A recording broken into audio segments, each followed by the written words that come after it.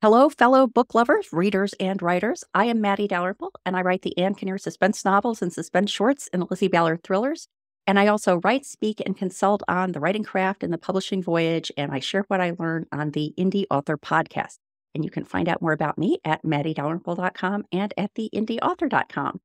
And this is my video series, What I Learned, where I ask authors two questions related to their latest book.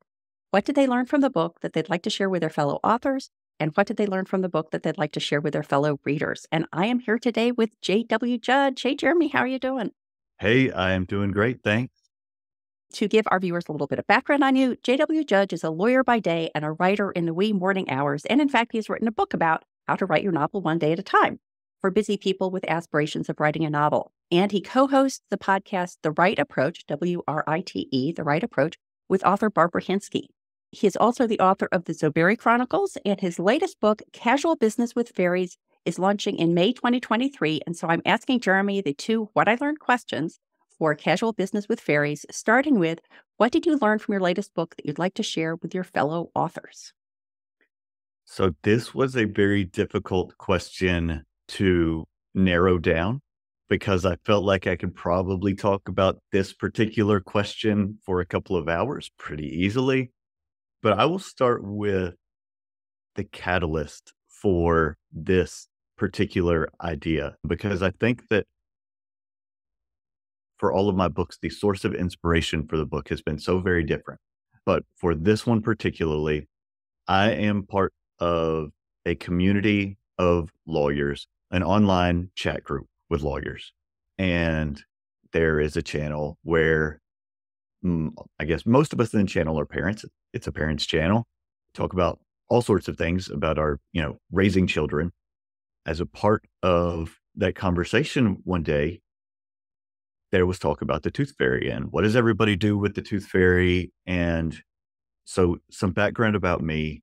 I am like the most uh cons- waspy southerner, you know, that that you could ever meet. You know, I I was brought up Baptist. I'm a deacon in a Baptist church. And, you know, so white Anglo Saxon Protestant, that that's me. Uh, one of the parents there is from, she is in Seattle. She is married to a transgender person. And, you know, they have a polyamorous relationships. She's Wiccan. Like we couldn't be more different, you know, from all of the outside things that you could look at these two people and say, these these are not similar people. And so when talking about what to do with the tooth fairy, she responded, "We don't do casual business with fairies." Nice. And was very serious. Like believes in fairies and fairy things and like we don't mess around with fairies and play games. Mm. And so that drew a lot of questions and you know just conversation but that phrase just stuck in my head. And at the time, I was in the middle of writing my third novel. And so I didn't do anything with it other than, I think at the time, I didn't do anything with it at all because I didn't have anything to do with it, but it just stuck in there. Like, we don't do casual business with fairies, just lodged itself in my brain and snuggled in and wouldn't let go. And so I finished that that third novel which completed a trilogy I was working on. And then I uh, put together a the nonfiction book you mentioned, Write Your Novel One Day at a Time. And I had some ideas about what the next novel would be that I would write. And they just weren't working out. But I still had this one deadgum phrase just stuck there with no premise, no story, nothing other than this. And so, you know, that just kind of led to this question about, okay, let's think about this a minute. And I came up with the premise of what if the tooth fairy were evil and had really bad intentions with all these teeth that she's been collecting since people have believed in the tooth fairy for about a hundred years or so, or if not believed, but at least it's been a cultural thing. Yeah. And, you know, there's this in fairy lore, telling a fairy your name has power. There is power in a name. So, how much more power is in like a part of you, a tooth that came out of you, and what could they do with it? And so it was super weird. And telling, even though my first three novels were are urban fantasy, you know, dark fantasy novels, writing a book about an evil tooth fairy still felt kind of weird, but it just it was a lot of fun and I didn't know where it was going to go. It was very an entirely different writing experience for me, but that it just came from a line in a conversation that just stuck. And so it was a really unique for me source of inspiration. I really like that idea about the power of giving your a piece of yourself to a fairy because if you put that spin on it, it's super creepy. Especially a tooth. Like Yeah. Yeah. All and, sorts of you know, possibilities not, there. It's not something I read about generally. Like everything I, I know about fairies now is something I had to research for this book. And so it wasn't a natural fit. I did fit it within the universe and the same kinds of magic as existed in the three other books. And there ended up being a crossover character. I interviewed Kevin Tumlinson for my podcast, and he talked about crossing over character between series as a way of driving readers from one series to another and being a good business decision. And I was writing this novel at the time and intentionally did a crossover with not one of the main characters, but a character exists in those first three books and brought him into this one. And it's strange. And telling people about it was, you get curious reactions like, okay, so you're the kind of person who thinks about evil fairies and what would happen. Like, yeah, I kind of guess I am. That's so cool.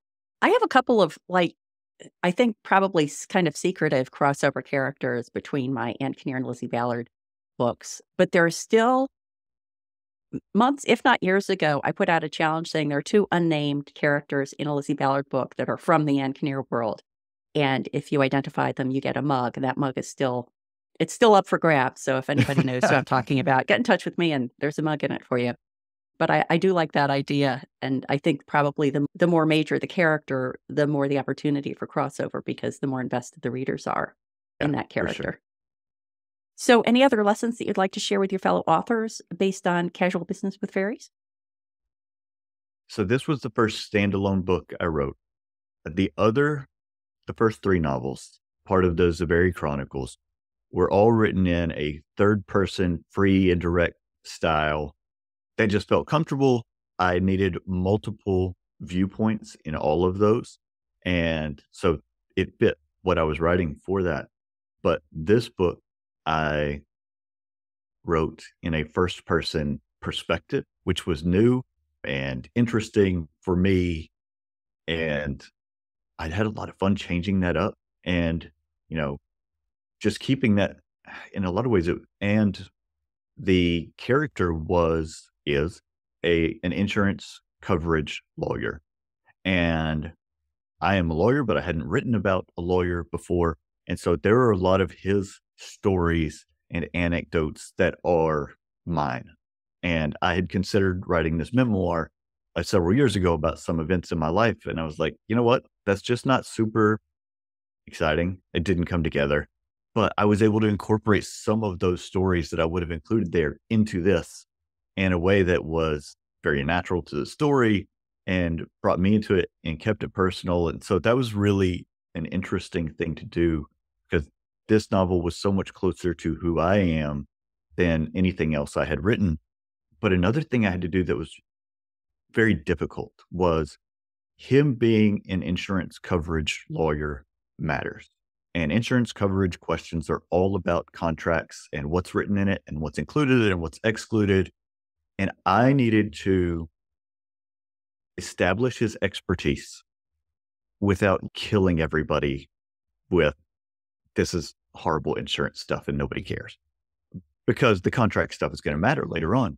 And so there is a chapter in this book that establishes his expertise that I rewrote and got feedback from from multiple lawyers who are fantasy people several times and rewrote it, I don't know, more than anything else I've ever written because I had, it was just terribly difficult to establish that without it sounding like you're in a continuing legal education seminar. And I had to keep going back and making it more personal and cutting out jargon. And so that was really difficult thing to do over and over and over. I guess another thing that I did in this book that I'd never had to do before, um, because I usually follow a framework pretty closely, is I ended up cutting out one or two chapters out of this at the beginning of the book that ultimately I decided didn't serve the story. And I had never done that before. And I thought it would be a difficult thing to do, but knowing that this is the right thing for the story and moves things into the story quicker, it was actually pretty easy to do. Like I thought I would fret over that, but I didn't. I like when I can um, tie in comments with podcast episodes because there was just a recent podcast episode with John Gaspard. I think it was 180. And one of the tips he was sharing, it was top six lessons that novelists can learn from the movies. And one of them was arrive late, leave early. And so I think that example of just dropping a couple of chapters at the beginning is a good example of that. Yeah. I mean, it, it was, I still think that the content of those chapters was interesting and fun, but it didn't serve the story. And taking it out let us get to that inciting incident and that beginning hook quicker. And so that was the right thing to do. Yeah. And how about the second question for what I learned? What did you learn from casual business with fairies that you'd like to share with your fellow readers? This was, I thought about this a lot. Knowing this, this is the hardest coming. one for everybody. It's such a hard question. But I think for me, so much of this book was about the characters. And I, unlike the other books that I've written, especially books two and three, where I already knew most of the characters, I didn't know who any of these characters were going to be when I started writing it and grew to just really enjoy and love these characters. And something, I mean, eh, for me as a reader, I really need to engage with a character. Like, I don't read things that are just super plot heavy and there's not a lot of character. I, I want to know the character. I want to get engaged with them. And so that for me was a really central focus of this book. I don't go into a lot of backstory. It's all just in the moment and learning who these people are and how they're moving through this universe and these strange circumstances.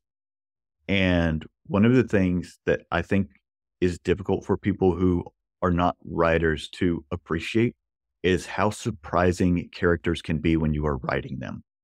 And I had more surprises while writing this book about either things that characters did, which probably sounds nuts, since I'm the one, you know, like making the choices, even though sometimes it doesn't feel that way. I'm just writing what these people are doing, and it happens to be coming through my hands onto the screen.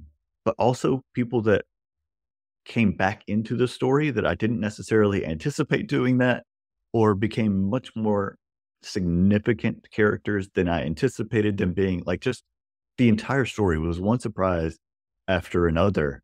And it was just, I think that's part of why it was so endearing to me. But that said, this is something I interviewed David Ellis about, who's a thriller writer of like, do you have a hard time doing terrible things to your characters? And he was immediately, no. And it was just, no.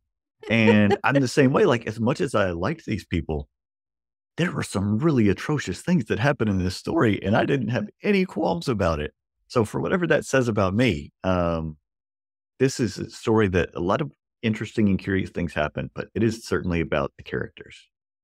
Yeah, I'm working on the fourth Lizzie Ballard book, and I'm really wrestling with this one of the one of the characters who has appeared in previous books need to die or or live, and it's it's a tough question. I am struggling with it. Yeah, and I guess it's been that way from book one. Like my first novel was Vulcan Rising, and I still have a friend who's mad about what I did toward the end of that book to one of the characters. I'm like, look, it wasn't my choice; it had to be done, and I stand by it. And, you know, it doesn't matter how much I like the character. Like if if the story is served by something terrible happening, then that's what's going to happen. If they got to go, they got to go. That's right. No doubt. Well, Jeremy, that was so interesting. Thank you so much for stopping by to share the lessons you learned from your book. Please let the viewers know where they can go to find out more about you and casual business with fairies online. Sure. So my website is jwjudge.com and you can order casual business with fairies anywhere that you like to buy your books online. It's available to libraries. And so if your library doesn't have an electronic copy or a hard copy, you can request it. They can obtain it. So anywhere you like to mm-hmm. get your books, you should be able to find it. Perfect. Thank you so much. Thank you.